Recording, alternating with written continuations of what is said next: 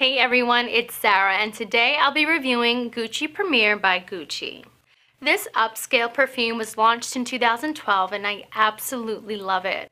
It was inspired by the timeless Hollywood glamour and it's perfectly balanced with sweet and floral accords.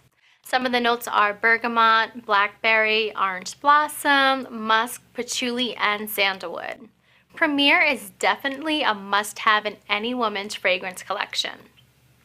Alright everyone, thanks for watching. Remember, if you want to see more reviews on your favorite products, be sure to subscribe to our YouTube channel and be sure to check us out on Instagram, Facebook, and Twitter.